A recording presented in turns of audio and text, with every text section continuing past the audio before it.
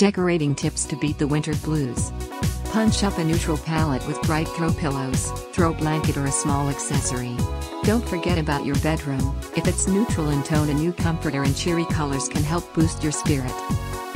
Add metallic accents or hang mirrors to reflect natural daylight. Blooming houseplants or simply fresh cut flowers are great for lightening a mood.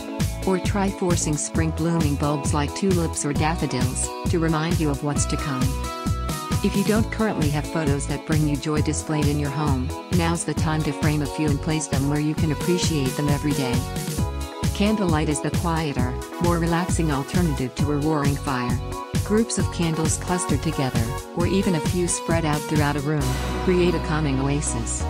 If you're like most people, your furniture has been in the same spot for years.